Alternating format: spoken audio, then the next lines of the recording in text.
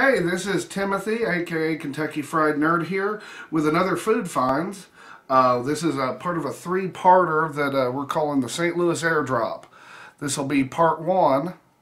So I was informed yesterday at work that uh, one of my best friend's parents uh, was going to St. Louis, coming back, uh, and they were going to be bringing some food. Uh, they wanted to see if I wanted any. Of course, of course, I wanted any because St. Louis is one of the food cities in the United States as far as I'm concerned.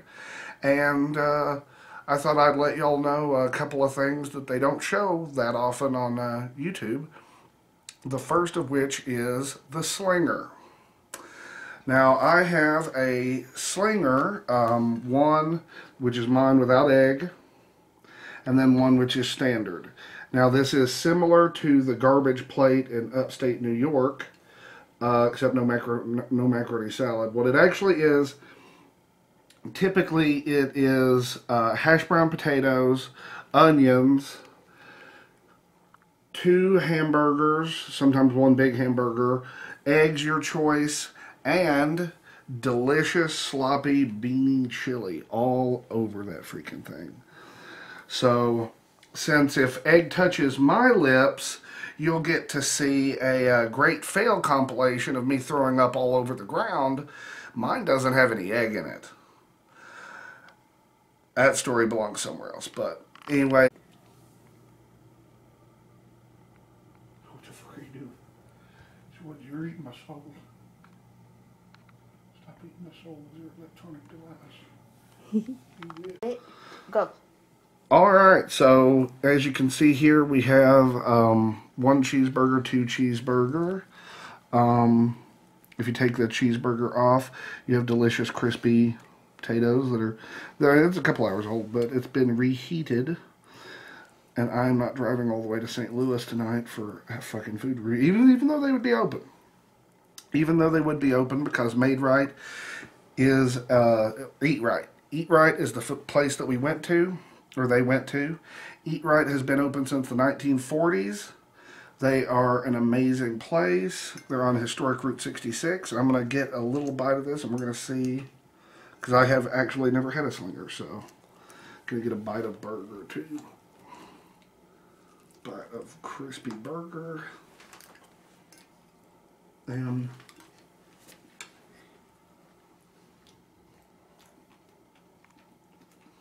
Mmm.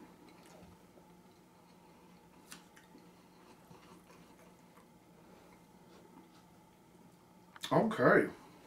There's a lot of familiar flavors from several different meals meshed into one. that just sounded so random. well, that's what it tastes like. I mean, like, if you ever thought, I really want like an ice cream sundae, but I also really want waffles and bacon. So why don't I just take an ice cream sundae and put a bunch of waffles and bacon on it? And gravy. It's very, it's not, it's not foods that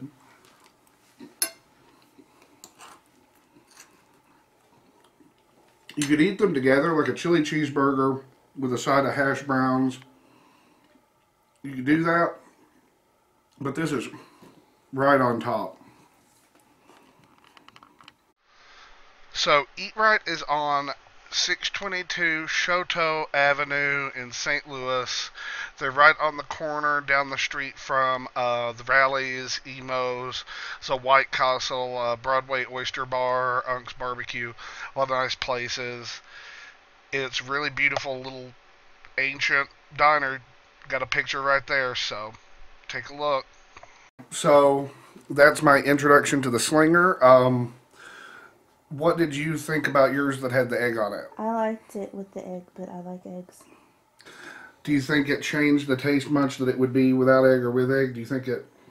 Um, the egg one definitely had more taste of eggs in it. Well, was it better with the egg? You think, or? I think that depends upon the individual's preference of eggs. If I enjoyed like it. Yeah. Okay.